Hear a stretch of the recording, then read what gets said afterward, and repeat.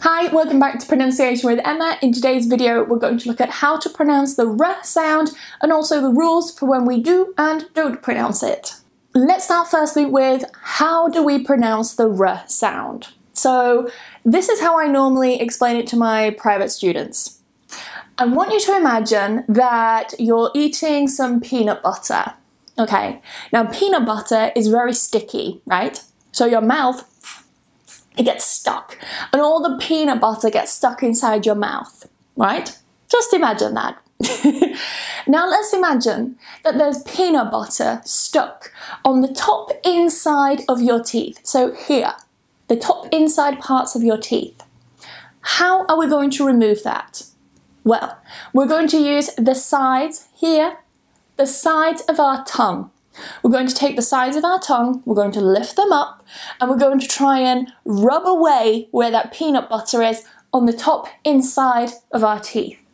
So that means that the outside parts of our tongue, as I showed you here, come up to touch the inside, the top inside part of your teeth. Got it so far?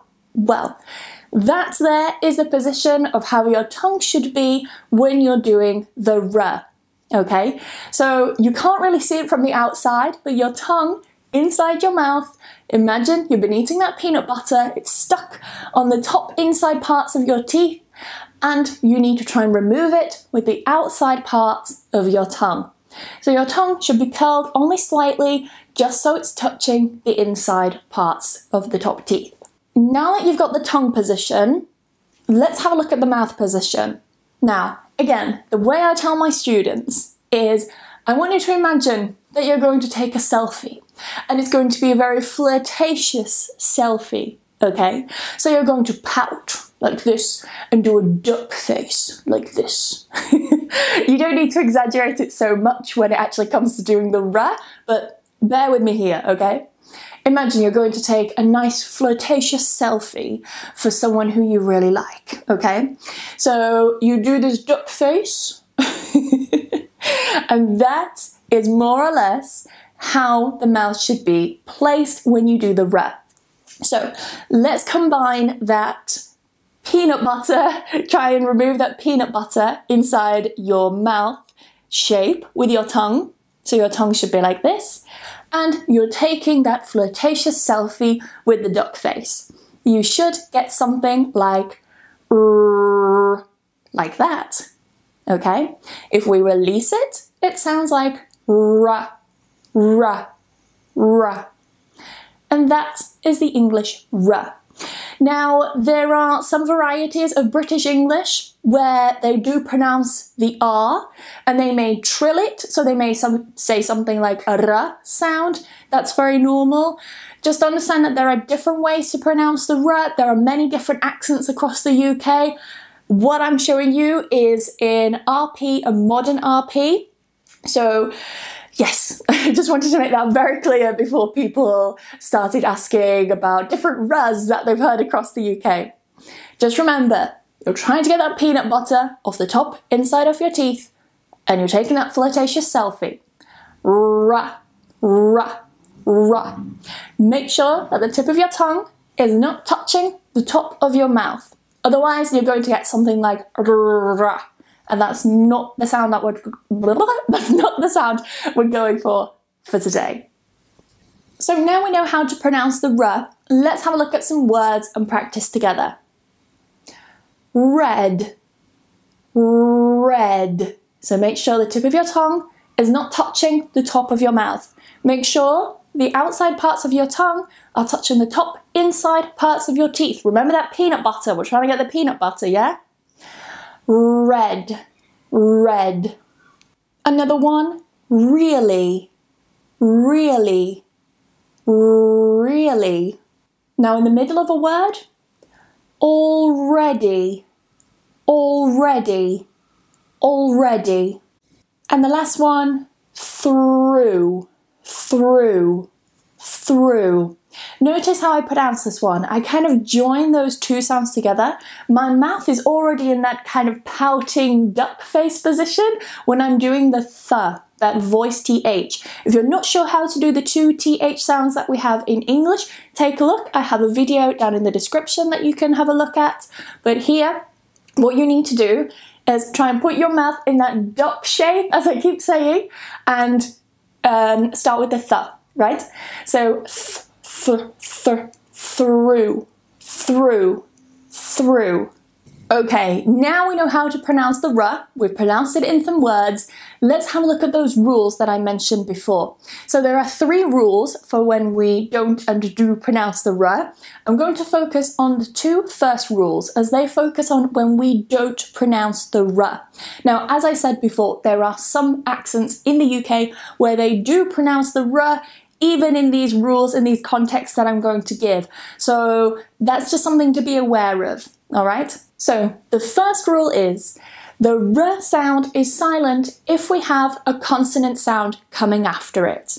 For example, in the word first, first. Notice that I don't pronounce the R here, and we have a S coming after that R.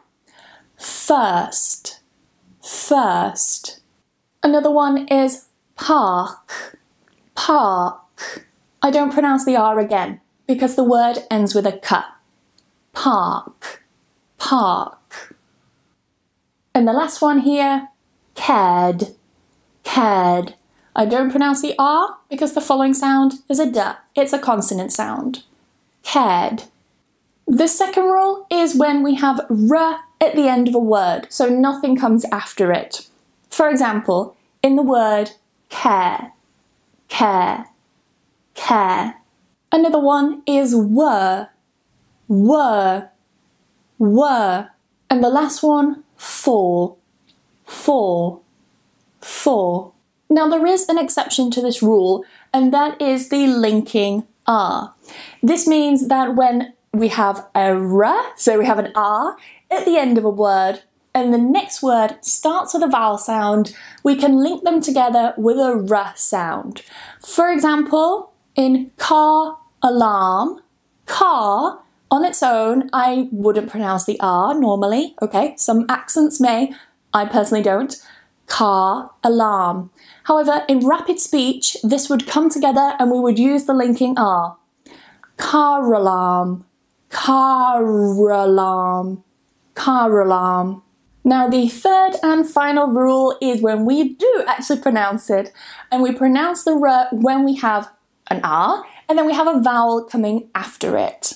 For example, in the word hairy, hairy, notice the position, getting that peanut butter, taking that pouty selfie.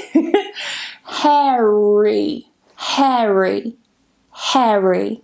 Another is foreign, foreign, foreign. And the last one here, horror, horror, horror. So notice that I pronounce the one in the middle. I pronounce those two R's in the middle because they are between vowels, but I don't pronounce that final one because it's at the end. Now this video wouldn't be complete without some sentences for us to practice, so what I've got here are a mixture of sentences where we pronounce the r and where the r is silent. Before you ask in the comments, even though I say that the r is silent in some of these words, you can still pronounce it. It doesn't matter. And as I said, there are many accents across the UK where they do pronounce the r. So don't worry too much about it. Roy has a red car. Roy has a red car. Roy has a red car. Where were you on Thursday? Where were you on Thursday? Where were you on Thursday? The program starts at three.